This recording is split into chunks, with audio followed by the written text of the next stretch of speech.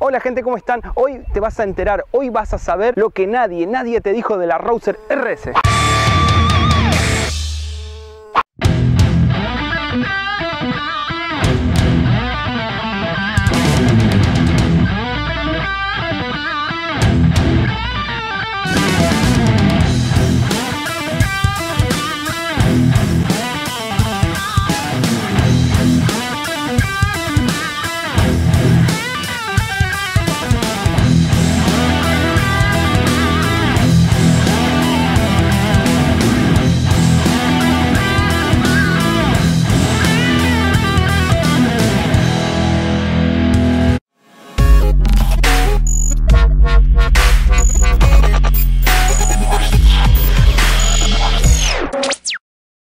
La primera cosa que vas a cambiar cuando compres esta moto van a ser los espejos. Obviamente no te voy a decir que con estos espejos vas a ver porque no vas a ver una chota, pero en facha ganás más 10. Otra cosa muy importante de esta moto es el cable del líquido de freno. Si no lo soltás de acá arriba o lo cambias por garantía, olvídate, te quedás sin freno, tenés que cambiar este cable y vale como 2 lucas. Olvídate. Otra cosa que es muy importante, es muy difícil de ver el líquido refrigerante, es decir, acá tenés que estar adivinando cuánto refrigerante tenés.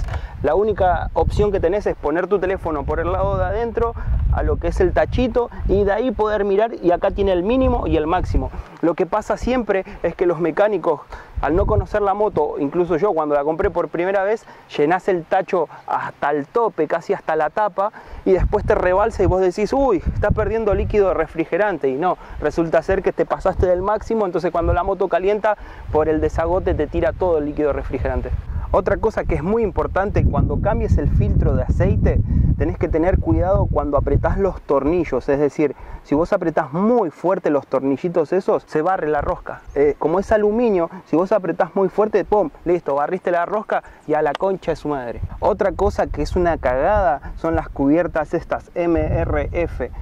O sea, no tienen prácticamente agarre, pero en seco van bastante bien. El día de lluvia y no te voy a decir que son buenas, pero dentro de todo zafan. Otro problema que tiene esta moto es el tablero. Si hace mucho, mucho frío, el tablero muere, no prende. Pero solo por un rato. Haces unas 10 cuadras y el tablero vuelve a prender normalmente.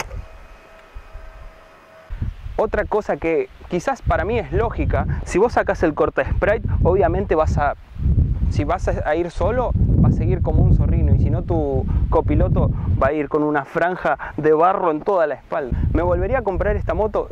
Claro que sí, me la volvería a comprar mil veces.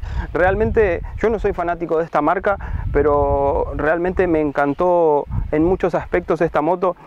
Eh, tuve mis problemas con esta moto, como por ejemplo lo del líquido refrigerante, que pensé que había, no sé, roto la moto y era que estaba lleno el, depósito y largó el refrigerante por arriba. Eh, me pasó que se me desoldó un cañito del, radiador, lo tuve que mandar a soldar, no quedó, agarré, compré otro radiador y ya está, fin del problema.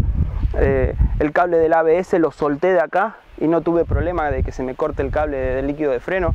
Eh, cambié los espejos por una cuestión de estética, porque igualmente los espejos de fábrica no me dejaban ver. Una cosa muy importante de esta moto es el consumo de combustible, realmente no consume nada. Aproximadamente con un tanque lleno, cargado, con copiloto, eh, más o menos puedes hacer 250 kilómetros, hasta un poco más. Obviamente sin llegar a, dejar el tanque pelado para que no se dañe la bomba de combustible, obviamente. Así que bueno, gente, espero que les haya gustado este video. Les dijimos las verdades de esta moto, así que si vos pensás que tu moto es la mejor, que como tu moto no hay, vení, traela que le vamos a encontrar las cosas malas y las cosas buenas a esa moto de porquería. Así que no se olviden de compartir, de darle like y nos vemos en el próximo video. Chao.